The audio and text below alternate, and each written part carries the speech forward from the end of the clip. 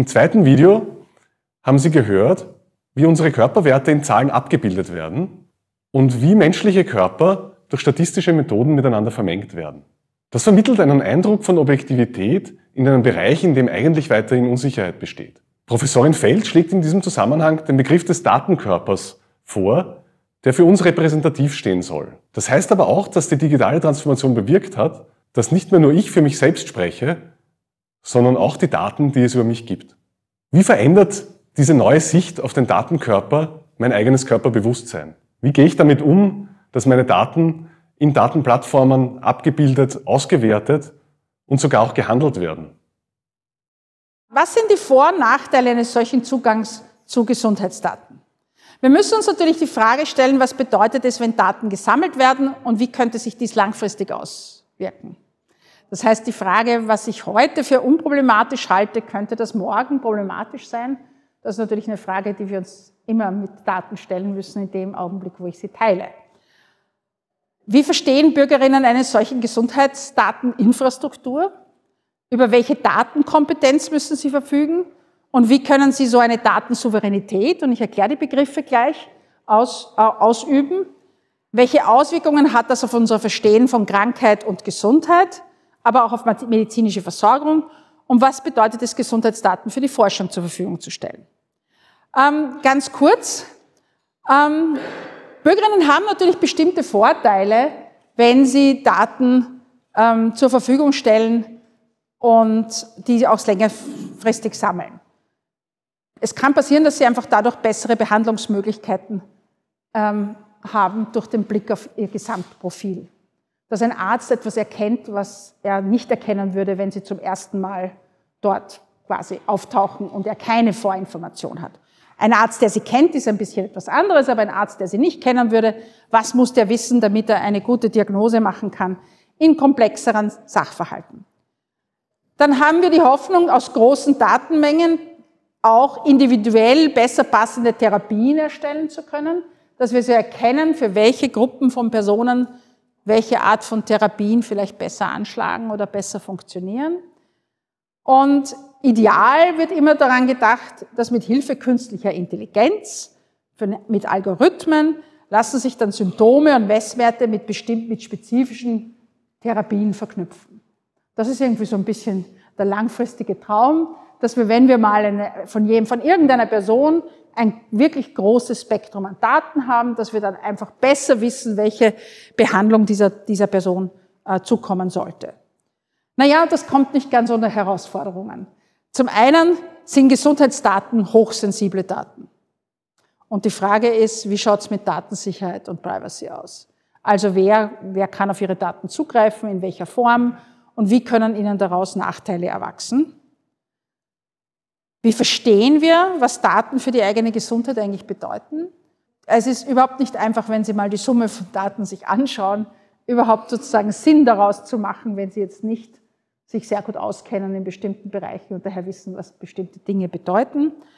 Und die Frage, die in allen Diskussionsgruppen, die wir im Rahmen dieses Projekts gemacht haben, aufgetaucht sind, ist die Frage, na ja, das ist ja alles gut und schön. Wahrscheinlich wird man bessere Behandlungen entwickeln können, wenn man die Daten hat. Aber am Ende des Tages werden, wird mir das zugutekommen. Und da kommt einfach ein Standardargument immer wieder, nämlich wir leben in einer Zweiklassenmedizin und die wirklich gute Behandlung, die bekommt man nicht, die bekommt man als Durchschnittsbürger nicht. Und das scheint eine sehr, wie soll ich sagen, fundierter Blick zu sein, dass das das Problem ist. Es ist zwar gut und vielleicht entwickelt man hier für bestimmte Personengruppen bessere Behandlungsmöglichkeiten, aber eben nicht für den Durchschnittsbürger. Das heißt, wir müssen uns jetzt überlegen, was passiert, wenn ich als Nutzerin, als Bürgerin auf meinen Körper und meine Gesundheit schaue und versuche sie zu verstehen und ich mache das Ganze vermittelt durch so eine Gesundheitsdatenplattform. Das heißt, äh, wie stelle ich mir vor, ähm, dass mein, mein Körper und meine Gesundheit funktioniert, aussieht? Ähm, was, was verändert sich hier? Und da sehen wir zwei wenn man so möchte, Bewegungen. Zum einen ist es so, ähm, dass so eine Gesundheitsdatenplattform beeinflusst, wie wir unseren Körper und unsere Gesundheit auf neue Weise wahrnehmen und erleben. Und es ist hochinteressant, es gibt ja mittlerweile schon eine ganze Reihe von Studien, die sich diese, die Frage, was sich verändert, wenn Leute immer ihre Körperdaten ähm, äh, vermessen, zum Beispiel Blutdruck, ähm, äh, wie viele Schritte sie gehen, wie hoch ihr Puls ist und so weiter, dass das die Selbstwahrnehmung einfach, wie gut man ist. Man vergleicht sich dann mit anderen Leuten und andere Dinge. Und ich denke mir, einige von Ihnen werden das vielleicht als Phänomen erkennen. Aber, aber der Punkt ist doch einfach die Frage, wie verändert das meine Vorstellung, wo ich eigentlich stehe? Das heißt, es verändert etwas daran, wie ich meinen Körper verstehe und wahrnehme.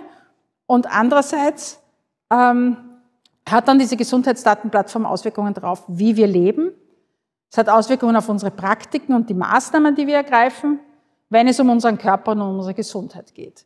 Das heißt, wir, wir, hier, hier findet durch diese Technologie einer Gesundheitsdatenplattform, wenn ich die beginne aktiv zu nutzen, beginnt auch eine Veränderung dessen stattzufinden, wie ich mich selber verstehe, wie es mir geht und so weiter. Und das ist ein Phänomen, das viele schon sehr früh, vor vielen Jahren diagnostiziert haben, wenn Leute sehr lange, nehmen wir an, sie haben Kopfschmerzen sie beginnen auf Google zu suchen, dann finden sie alle möglichen Krankheiten, die sie haben können und man hat ja dann auch damals auch den Begriff des Cyberchondria erfunden, äh, um hervorzuheben, dass wenn sie empfänglich sind für eine etwas, wie soll ich, fragile Selbstwahrnehmung, nennen wir es mal so, dann tendieren sie natürlich dazu, ähm, ähm, tendiert man dazu, einfach schlimm, schlimme Dinge anzunehmen.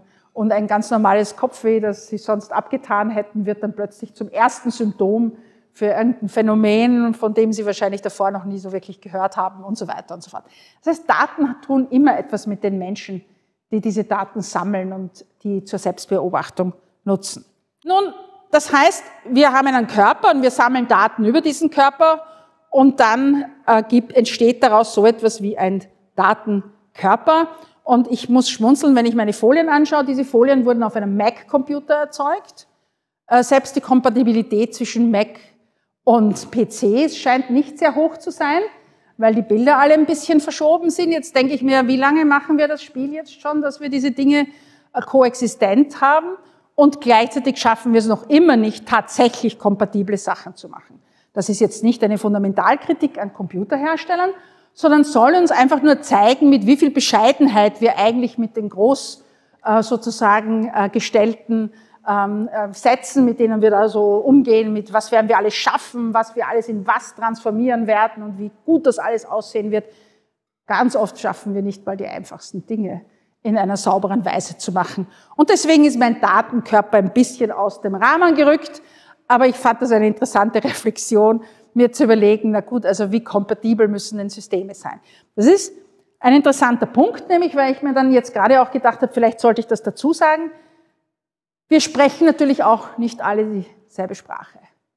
Sie fahren jetzt irgendwo hin in ein anderes Land, sie ziehen dorthin, sie sind mobil und wir gehen jetzt davon aus, dass wir Worte einfach übersetzen müssen und dass Gesundheitsdiagnostik überall gleich funktioniert und Sie werden sich wundern, wie unterschiedlich die einzelnen Ländern in Diagnosemethoden sind. Das steht natürlich nirgendwo so ganz genau drauf. Sie können es erfahren, wenn Sie genau nachfragen, aber plötzlich kommen Sie drauf, dass Daten doch nicht Daten sind und dass Daten Kontext brauchen, damit sie in irgendeiner sinnvollen Weise auch benutzt werden können. Evelyn Ruppert und ihre Co-Autoren haben sich sehr früh mit der Frage von Daten auseinandergesetzt und sie bringt das sehr schön mit diesem Zitat auf den Punkt. Äh, Subjekte werden durch verschiedene digitale Interaktionen ähm, sozusagen quasi hervorgebracht, produziert und gleichzeitig ähm, äh, formen ihre digitalen Spuren und äh, sie organisieren dadurch ihre Subjektivität, ähm, wie sie wissen und wie sie quasi angeleitet, reguliert und, äh, und regiert werden. Und ich glaube, das ist recht schön, weil wir tun so, als ob Daten einfach Menschen beschreiben, aber Daten stellen eine bestimmte Vorstellung des Menschen her erst. Und damit produzieren sie eine bestimmte Version, wenn man so möchte, des Menschen. Ähm, denken Sie an Gesundheitsdaten. Wir sagen dann plötzlich, oh, Gewicht, Größe, Alter, Herzschlag, Blutwerte, Bilder von Untersuchungen. Und auf einmal ist all dies zusammen der potenzielle Patient. Ich. Naja, wenn man genauer darüber nachdenkt, werden wir sehr schnell erkennen, dass da noch sehr viel mehr dazu gehört. als Grunddaten zum, zur Funktionsweise jedes einzelnen der Körper, die wir sammeln. Das heißt, wann ist genug genug? ist eine interessante Frage. Was müssen wir alles wissen? Müssen wir etwas über Lebensumstände wissen, über die Orte, wo Menschen leben, wie sie leben und so weiter? Oder reicht es aus, wenn ich alle meine Kenndaten bekannt gegeben hatte und man dann weiß man, wie es mir geht und ob es mir gut geht oder nicht?